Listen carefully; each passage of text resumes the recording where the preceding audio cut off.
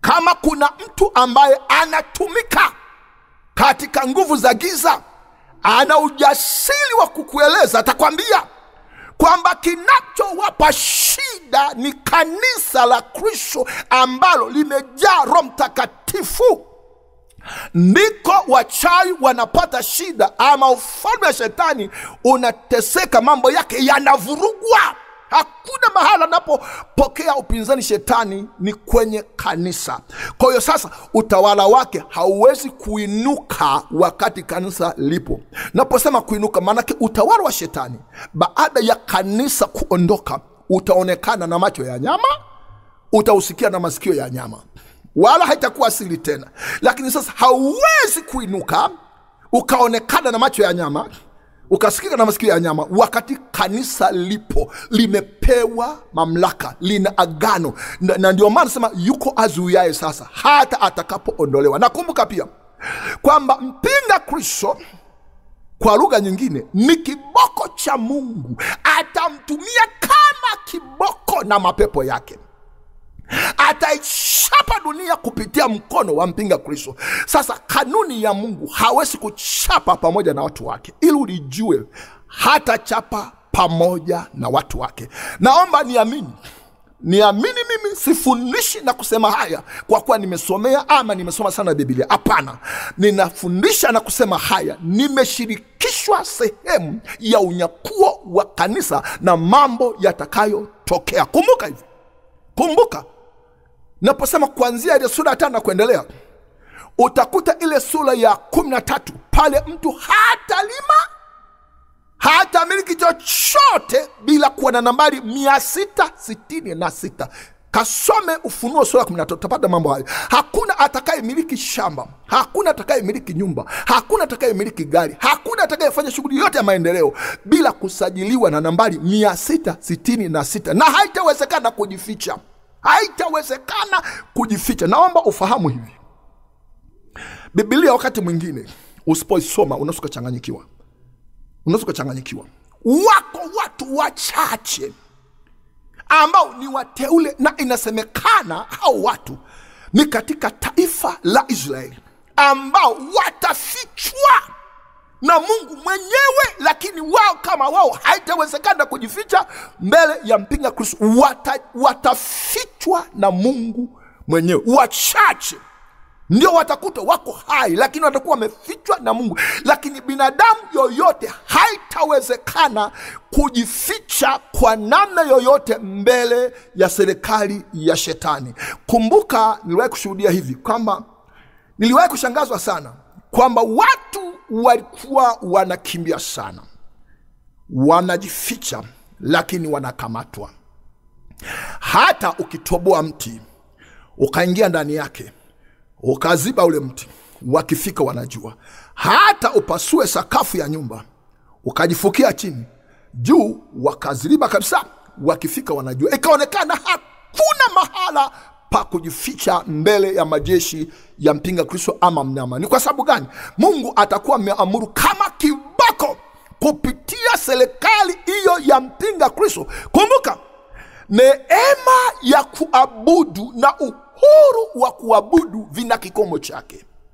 Vina kikomo chake. Hizi serikali ambazo tunazo zinatetea uhuru wa kuabudu zinalinda uhuru wa kuabudu zina muda wake dunia nzima zitamaliza muda wake. Inakuja serikali moja tu na dini moja tu kwamba unapenda hupendi. Hii inaenda kutokea. Kuna mabadiliko yanaenda kutokea ambayo wanasiasa watashangaa. Nakwambia hivi hapatakuwa tena na vyama vingi. Hapatakuwa na neno demokrasia. Hapatakuwa na neno uhuru wa kuabudu hapatakuwa na neno vyombo vya kutetea haki za binadamu. Nakwambia hapatakuwa na hayo yote. Unakuja utawala ambao utakuwa na serikali moja tu na dini moja tu na wote ni lazima kuabudu dini ya shetani. Itakuwa ni lazima. Asiabudu atakiona cha moto. Hatafanya biashara hatafanya kazi hata miliki chochote hata safiri kokote hata kwenda chochote mpaka me, na zaidi ya hapa kikatani kwamba atauawa. Sasa ni nani atakayeuawa? Ni nani atakayestahimili? Ni kwamba ni wale leo hawaiti wakristo. Leo ambao leo hawaiti wakristo neema hii ya wokovu itahamia kwao. Ukisoma pia ile luka 12 mstari 47 na kuendelea anasema hivi yule mtumwa yule aliyejua mapenzi ya bwana wake asijiweke tayari wala kuyatenda atapigwa sana. Na yule ambaye hajui lakini amefanya nosari mapigo atapigwa kidogo. Kuna makundi mawili hapo. Anasema yule ambaye alijua asijiweke tayari wala kuyatenda atapigwa sana. Maana yake nini? Maana yake ninyi ambao munahubiliwa habari za wokovu habari za yesu leo mnafanya mchezo. Munajichanganya kana kwamba hamjahubiliwa hamjafundishwa. Wengine mnalala na bibilia munahubiliwa hata kwa njia ya kwaya lakini bado hambadiliki na kwamba inakuja wakati ambapo neema hii itaondolewa kwenu na itaenda kwa watu ambao leo hawaiti wakristo. Naam kwa sababu lile tendo la unyakuo utakuwa ni ufunuo wa wazi wataelewa kitu gani kimetokea? Wataelewa tu ni kitu gani kimetokea. Wataelewa kwa nini wamebaki wao. Naam watakili yesu ni bwana watakili nimesema nimesema mara nyingi napenda kurudia na wale wanaosema yesu sio mwana wa mungu. Wana maswali mengi yesu sio mwana wa mungu. Kwani mungu ana mke? E, kwani mungu anazaa? Oh, mungu sijui ni nani? Ah, hakuna. Ah, watakili wenyewe. Hakuna atakayewahubiri tena. Lile tukio la unyakuo itakuwa ni injili tosha ni ufunuo tosha. Kwani? Usisahau. Makundi matatu yatatoweka pia. Waliolala watakatifu makaburini. Makaburi yao yatawachia. Watu wazima walio hai watatoweka. Na watoto wadogo watatoweka. Kumbuka watoto wadogo hawahesabiwi dhambi. Sio kwamba hawana dhambi. Hawahesabiwi dhambi. Yesu akasema wacheni watoto wadogo. Watoto kama hawa ufalme wa mbinguni ni wao. Sasa haijalishi ni mtoto mdogo ni wa dini gani? Ni wa mpagani ni wa budha ni wa nani? Ni mtoto mdogo hahesabiwi dhambi. Hao nakwambia hivi watanyakuliwa. Hilo niliona. Maana katika kuona kundi la watu waliobaki sikuona mtoto mdogo hata mmoja hata mmoja. Nikagundua ndicho chachokisema kwamba wao ufalme wa mbinguni ni wao. Sasa utahusisha kila kabila na taifa na kila dini watapotelewa na watoto wadogo hata ulio polini watapotelewa na watoto wadogo. Litakuwa ni jambo la kushangaza na kushitua sana. Hivyo hakuna atakayewahubiri. Hiyo itakuwa ni injili tosha. Watamwamini yesu kwamba ni bwana na mwokozi. Naam sasa nirudie tena mpenda msikilizaji wangu kwamba yanayokuja mbele na kama ilivyotabiliwa katika kitabu kile cha ufunuo pia kumbuka mimi mimi hapa nilipo najitambua na kukiri kwamba bwana amenikabidhi kijiti cha yohana. Amenikabidhi kijiti cha yohana. Naam pamoja na watumishi wa mungu wengine amenikabidhi kijiti cha yohana. Niwaambie watu bwana yu aja upesi sina shaka. Hatukinihoji maswali ni lini atakuja? Siku ngapi zimebaki? Miaka mingapi? Hiyo sijui. Najua neno moja bwana yu aja upesi. Na ndicho nimepewa ni waonye wa tanzania ni wonye ulimwengu kwamba dunia inaenda mahali pabaya liko tukio kuu la kushangaza nalo ni la kunyakuliwa kwa kanisa lake bwana. Nam likinyakuliwa kinachofuata ndicho nimekusomea pia katika ufunuo ile tisa kwamba yatatokea mapepo ya ajabu yanauma mwanadamu miezi miezi mitano. Sikiliza baba utakuwa wapi? Mama utakuwa wapi? Kijana utakuwa wapi? Utasehemili vipi? Je utafanya shughuli zako hizo? Na kuambia hivi hakuna atakayefanya shughuli yoyote ya maendeleo zaidi ya kulia kilio kisichoelezeka. Sielewi watalia kama nguruwe watu watalia kama mbuzi kama paka kama nani lakini watalia watajuta watatamani kufa kama maandiko yanavyosema lakini kifo hakitapatikana mpaka miezi mitano ishe. Baada ya unyakuo waisraeli wengi sana wataokoka watakiri yesu ni mwana wa mungu na ni bwana. Maana sasa hivi israeli kama taifa bado hawajakiri kwamba yesu ni bwana na alikufa na kufufuka. Hawajakiri bado. Ni wachache tu waisraeli ambao wamepata neema ya kuokoka na wamekoka lakini kama taifa bado haliamini. Bado wana dini ile ile. Wanamwabudu mungu wa ibrahimu wa isaka wa yakobo kupitia msaa mpaka sasa. Awamwabudu kupitia yesu kristo sasa subiri baada ya unyakuo wataelewa. Wengi wayahudi wataelewa. Na baada ya kuelewa kwa sababu utakuwa ni ufunuo wa wazi watasema lo hakika aliyekufa na kusulubiwa na kufufuka ndiye mwana wa mungu ndiye masia wataokoka wayahudi wengi sana sana. Wataokoka wengi sana wayahudi. Kipindi hicho cha ajabu sana kumbuka sasa. Nimesema mateso yote wafalume wakatili wote waliotangulia ni kivuri cha utawala wa mpinga kristo. Ni kivuli. Kulikuwa na wafalme wakatili sana.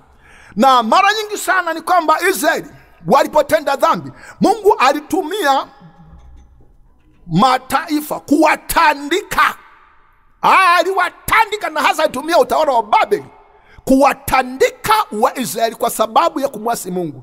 Palikuwa na mtawala mkatili nebukadreza katili sana. Aliwatesa wana wa israeli. Na israeli imepitia mateso mengi kwa sababu ya kumwacha mungu. Kwa hiyo alitumia wapagani ama mataifa kuwatesa watu wa mungu. Kwa hiyo ule ulikuwa ni unabii. Wote wafalume wakatili waliotangulia ni kwamba kilikuwa ni kimvuri cha mtawala anayekuja. Unakumbuka siku moja nikwambia hivi. Niliona watu wawili walikuwa wamekaa mali pamoja.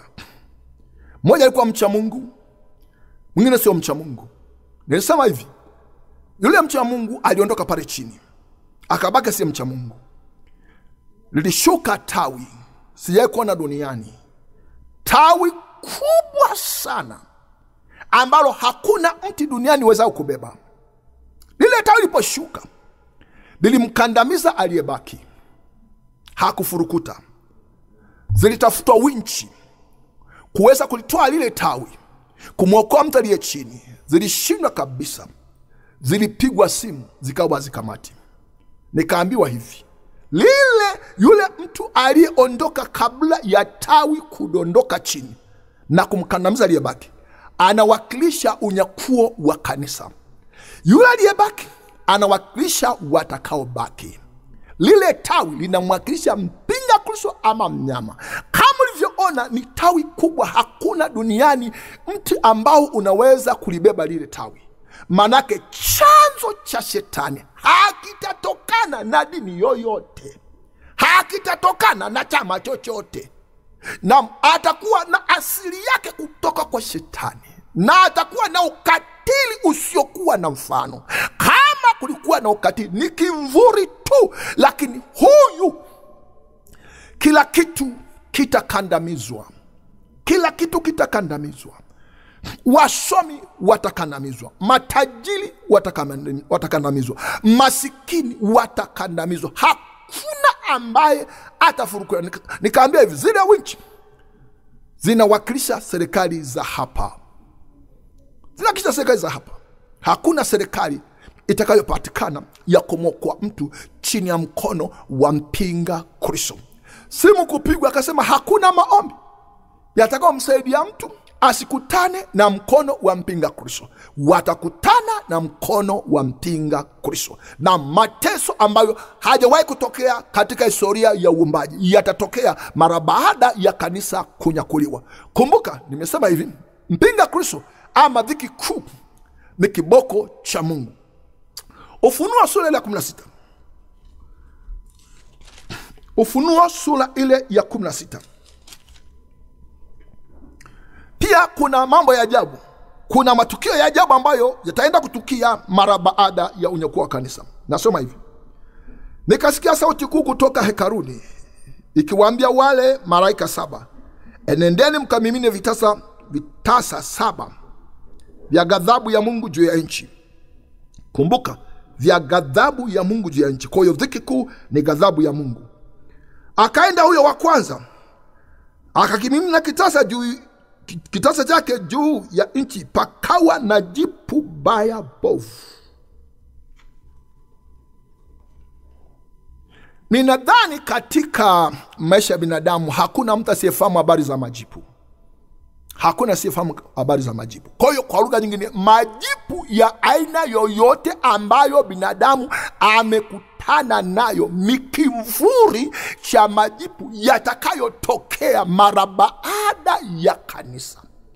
Anasema liliamuliwa jipu bovu juu ya watu yatafura majipu yasiyokuwa ya kawaida na yenye kuleta maumivu yasiyoelezeka. Kumbuka, mtu huyo ameng'atwa na mapepo miezi mitano. Ninadhani sura za watu zitaharibika, wasichana warembo watapoteza sura zao, wenye maungo mazuri yatapotea. Ninaamini katika kung'atwa na yale mapepo, huenda kuna minofu ya nyama itang'oka ninyi mlio na mili ya bandia mnapigwa misindano ili mfure makalio.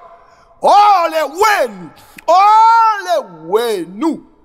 Naam yatawanyofoa tena hamtakufa. Mpaka mtabaki kama mlivyoumbwa mtanyofolewa nawambia mtanyofolewa na mtashika adabu mtalia na haitatosha. Haitatosha. Baada ya kung'atwa na kunyofolewa hayo makalio munaopigwa sindano mutanyofolewa. Na hizo sura zitabadilika. Kapa sura nzuri za kumcha mungu. Lakini mnatumia vibaya. Unakuja wakati zitaharibiwa. Zitaharibiwa na zitaharibika. Angalia sasa baada ya hapo linakuja jipu. Sio majipu unayoyafahamu majipu yenye ghadhabu ya mungu ndani yake. Yatakuwa na maumivu yasiyoelezeka. Haya yote yanamkuta mwanadamu aliyebaki chini ya jua. Baada ya kanisa kuondoka baada ya watakatifu kuondoka yatakuja hayo mambo atayaamuru majipu yawatese watu waliong'atwa na yale mapepo miezi mitano. Haijatosha majibu, kuna kazi hapo kuna biashara hapo kuna umalaya hapo. Hakuna kila kitu. Vurugu. Dunia itavurugwa nayo itavurugika. Itachapwa nayo itachapika. Haina adabu itashika adabu. Fanyeni dhambi. Inakuja siku mtaikumbuka. Si hayo tu. Si hayo tu na huyo wa pili akamina kitasa chake juu ya bahari. Ikawa damu kama damu ya mfu na vitu vyote vyenye roho ya uhai katika bahari vikafa. Ni jambo la kutisha. Na huyo watatu akamina kitasa chake juu ya mito na chemchem za maji. Zikawa damu. Nami nikamsikia malaika wa maji akisema wewe umwenye haki. Hukumu zake makani za haki. Mstari wa nane. Na huyo wanne akimina kitasa chake juu ya jua nalo likapewa kuwaunguza wanadamu kwa moto. Wanadamu wakaunguzwa maunguzo makubwa. Chukulia sasa mapepo yameng'ata watu miezi mitano. Baada ya hapo kunatokea majipu ya kutisha baada ya majipu hili jua litamuliwe alishuke liwaunguze wanadamu maunguzo makubwa. Haya yatatokea mara baada ya kunyakuliwa kwa kanisa. Kwamba unaamini kwamba huamini. Siku hiyo utaamini. Siku hiyo utayakumbuka haya maneno utakutana nayo hutaokoka. Kama hutampa yesu maisha sizungumzi ukristo bandia. Ukristo bandia siongeli kitu hicho siongeli uokovu bandia. Ni kweli kuna ukristo bandia wokovu bandia miujiza bandia manabii bandia mitume bandia wachungaji bandia mit, bandia bandia kila kitu bandia kimejaa. Kweli ipo na bandia ipo. Kama bidhaa kama bidhaa vile kuna bidhaa harari zinafaa sokoni zingine ni feki ndo kazi ya tbs sasa tbs tbs tbs nguvu za roho mtakatifu ni tbs tosha. Zitachuja walio wake. Feki watabaki. Wakibaki watapokea nambari mia sita sitini na sita wakishapokea nambari sitini na sita na ndipo ghadhabu ya mungu itamwagwa juu ya watu. Watapigwa vipigo vya kutisha mno. Vya kutisha mno. Nikimbia zaidi kumi na mengine. Sura ile ile ya kumi na sita. Mstari wa ishiri moja nasema hivi mvua ya mawe kubwa sana ya mawe uzito kama taranta ikashuka kutoka mbinguni juu ya wanadamu. Wanadamu wakamtukana mungu kwa sababu ya yale mapigo mvua ya mawe kwa maana pigo lake ni kubwa mno. Hesabu hapo. Yale mapepo miezi mitano. Mara majipu. Hey, hali mambo ya kutisha. Anasema jua kushuka kuwaunguza